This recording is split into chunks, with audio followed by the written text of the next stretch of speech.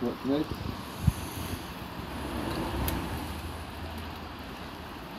Right. Morning, and Jay here, paved in stone. So we've just bought one of these new electric Stihl cutters.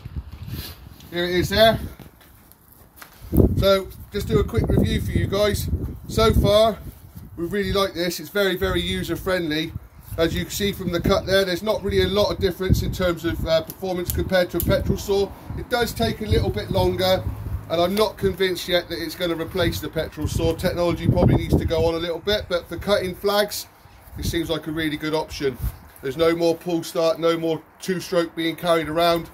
Uh, we started with a full battery there. We've done one cut, still a full battery.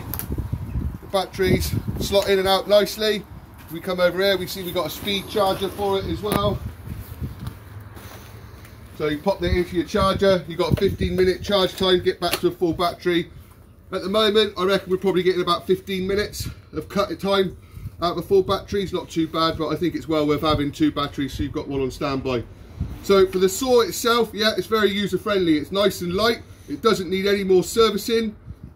I say you're not carrying around your fuel, so it's a little bit extra to spend now, but I think it's something that will pay for itself in time. Also, I think what's going to be really important with these saws is that you invest in good quality blades. We've gone with uh, Phil from Diamond Disc Direct here. We've got the 9 inch Fury blade. I've had this on the bigger models as well before off of Phil and it's a really really cool blade. It just slices through, it's really really good. So overall, yes, it's a good bit of kit. It's well worth having. Does it replace the petrol saw?